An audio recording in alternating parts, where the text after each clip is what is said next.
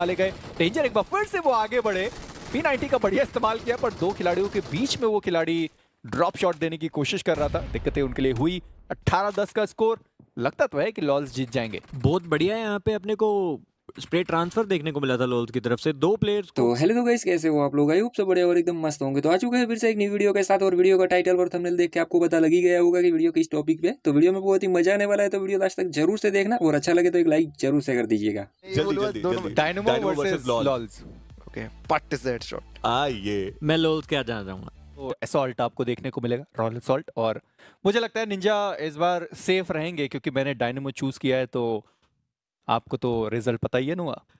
तो आप क्या बोलना चाहते हो? जो आप बोलते हो वही हमेशा हो जाता है? यस बिल्कुल। मतलब सिर्फ़ तीन बार हुआ है आज तक? बस तीन बार। हाँ बस तीन बार ही हुआ है। इवेंट ही छह बार हुए थे तो पचास प्रतिशत में सही हूँ।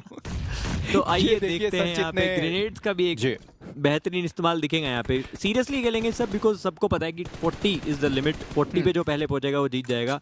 तो मेरे हिसाब से यहाँ पे थोड़ा सा ट्राई हार्ड दोनों ही टीमों को करना पड़ेगा बिकॉज़ एक ही मौका देखने को मिलेगा यहाँ पे। फ़िलहाल के लिए तो लीड में हमें जो है ब्लू टीम देखने को मिलेगी जो कि रहेगी लोल्स की टीम। आपको क्या लगता है अभी फ़िलहाल के लिए एडवांटेज अगर स्टार्ट में कोई लीड ले लेता है पाँच पॉइंट की भी तो क्या वो कन्वर्ट कर देगा डायरेक्ट बहुत आसानी से कर सकते हैं पर जिस तरीके से मैंने देखा कि वहाँ पे ड्रॉप लूट किया गया है और कुछ खिलाड़ी हैं एस के साथ भी आए हैं, पर उनको मौका नहीं मिल रहा है एस के चलाने का। चलिए मैं बात कर ही रहा था कि मुदत को मौका मिल गया और ऋषभ को उन्होंने डाउन किया है। और अब वो कंपाउंड के अंदर एक साथ एकजुट होकर खेलना पसंद करेंगे। देखिए कैसे चार के चार खिलाड़ी एक सिंगल कंपाउंड में चले गए। अब मैं ये सोच रहा हूँ कि सामने वाला क्या ग्रेनेड के लिए भी तैयार होगा? चलिए लॉल्स हैं जो ऊपर है। बाकी तीन खिलाड़ी अंदर मौजूद हैं। और ऋषभ डेंजर ये सब इस वक्त ग्रेनेड के साथ तैयार। शायद उनको भी अंदाज़ा हो चुका था कि हाँ एक ही कंपाउंड के अंदर दो तीन खिलाड़ी हैं। पर कुणाल, वो थोड़ा ऑफ़ एंगल पर जा चुके हैं। और जैसे हमने पहले भी बात करी है, गोल आपका 40 का है। समय पे आपको थोड़ा ध्यान देने की ज़रूरत है। पाँच छः दो का स्कोर खड़ा करने के बाद लॉल्स की टीम पीछे आ गई। उनको पता चला कि वो अब एडवांटेज पे आ चुके हैं। अभी से ही वो रुक के खेलना चाहते हैं। बिल्कुल आगे गए नहीं। वहाँ पर हाइड्रा के खिलाड़ियों को आगे पर आना पड़ा। डायनमो को आगे आना पड़ा था।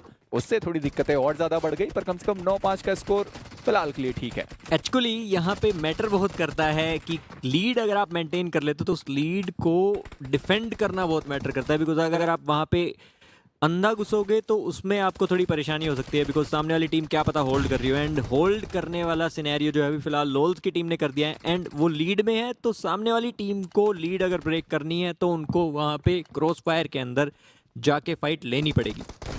देखिए, और बस इसी चक्कर में मुझे लगता है थोड़ी बहुत गलतियाँ हो भी जाती है। जैसे अगर आप होल्ड बहुत ज़्यादा कर रहे हो और आपको भी पता है कि सामने वाला आपके ऊपर आएगा ही आएगा। पर इन सब के चक्कर में लॉल्स ने अभी तक बढ़िया खेला है। मुझे कल भी हमने उनको पेलोड के मैचेस में बहुत शानदार खेलते हुए देखा था।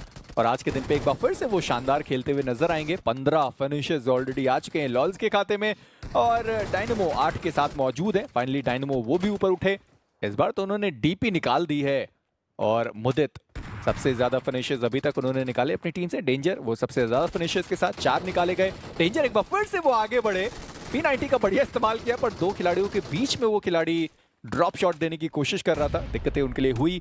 18-10 का स्कोर लगता तो है कि लॉल्स जीत जाएँगे। बहुत बढ़िया है। यहाँ पे अपने को स्प्रे ट्रांसफ़र देखने को मिला था लॉल्स की तरफ़ से। दो प्लेयर्स को फास्ट फास्ट स्प्रे ट्रांसफ़र करके डाउन किया उन्होंने। बहुत ही अच्छा वहाँ पे स्प्रे ट्रांसफ़र दिखाया एंड फ़िलहाल के लिए लीड नो पॉइंट्स की हो गई है तो अब तो मेरे हिसाब से बहुत Oh. मुश्किल होने वाला है यहाँ पे टीम डायनमो के लिए कम करना बिकॉज़ जितनी ज़्यादा वो फास्ट अपनी रिकवरी के लिए ट्राई करेंगे उतनी वो मिस्टेक्स करेंगे एंड उन मिस्टेक्स का फ़ायदा उठाते हुए टीम लोल्स यहाँ पे इजी एक विक्ट्री अपने नाम करेगी देखिए एम डिफरेंस तो बिल्कुल साफ़ साफ़ दिखाई दे रहा है चाहे वो कुनाल हो संचित हो लोल्स हो सबका एम कुछ अलग है और सामने जो खिलाड़ी हैं डायनमो की टीम के, उनका एम थोड़ा लड़खड़ा ज़रूर रहा बॉडी पे शॉट्स ज़्यादा लग रहे हैं वहीं पर अगर लॉल्स की टीम की बात करी जाए तो सीधा हेड पर एम उनका देखने को मिला, जहाँ मुदित नौ फिनिशेस के साथ हैं। ऋषभ कोशिश कर रहे हैं पी के साथ कि थोड़े फिनिशेज और एक्स्ट्रा निकाले जाएँ, पर समय पे आप थोड़ा ध्यान दीजिए डेंजर संचित को उन्होंने डाउन किया, सत्ताईस सत्रह, दस अंकों का फासला अभी भी है और डेंजर फंसे थे, पर सही समय पे दूसरी दिशा में जाने में उन्होंने कामयाबी हासिल करी।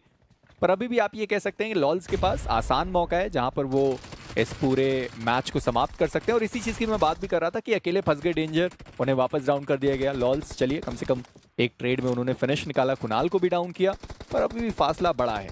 इसी चीज़ की मैं बात कर रहा था जो स्टार्टिंग की इनिशियल लीड जो होती है, उसको अगर आप अपने एडवांटेज में कन्वर्ट कर सके, जो कि लोल्स की टीम ने बखूबी किया है, फ़िलहाल के लिए अभी भी इवन दो, वो दो तीन पॉइंट्स अभी लूज़ किए हैं, फिर भी उनकी आठ पॉइंट की लीड मेंटेन है तो एट पॉइंट्स बहुत मैटर करेंगे बिकॉज़ सिर्फ़ दस पॉइंट चाहिए उनको वहाँ पे फोर्टी के लिए पहुँचने के लिए एंड सामने वाली टीम को सिक्सटीन पॉइंट्स मोर अभी चाहिएँगे।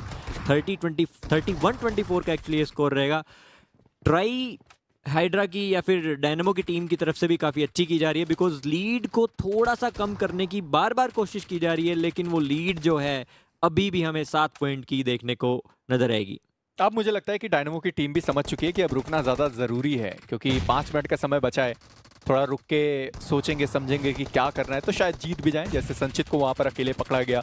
अभी डायनमो अकेले आगे आगे उनको डैमेज पड़ गया, उन्हें अंदाज़ा ही नहीं था कि वहाँ पर खिलाड़ी हो भी सकता है। एक ग्रेनेड अंदर गया, पर उससे पहले डेंजर ने अपनी पोजीशनिंग चेंज कर ही दी थी। संचित, छह फिनिशेस के साथ हैं। लॉल्स को देखिए मैक्सिमम फिनिशेस निकाले अपनी टीम से। 11 फिनिशेस हो चुके हैं उनके, बस छह और फिनिश चाहिए। टीम लॉल्स तो आपको जीतते हुए देखने को मिल सकते हैं। डेंजर वो मिस कैसे कर सकते हैं? अभी उन्होंने थोड़ी देर पहले यहाँ पर उस खिलाड़ी को देखा था और उस चक्कर में उन्होंने अपने तीन खिलाड़ी गंवा दिए। और ये मुकाबला तो खैर यहीं पर समाप्त है क्योंकि अब तो पता ही है कि लॉल्स वो आपको जीतते हुए नज़र आएँगे। यहाँ पे प्लेयर्स का स्पोन भी बहुत मैटर करता है। अगर आप एक एरिया अपना होल्ड करके रखते हैं तो उस एरिया में एनिमी स्पोन नहीं होएगा। अपोजिट साइड वाले एरिया में ही स्पोन होएगा एक बार मरने के बाद। एंड फ़िलहाल के लिए यहाँ पे लोल जो है इस मैच को अपने हाथ में कन्वर्ट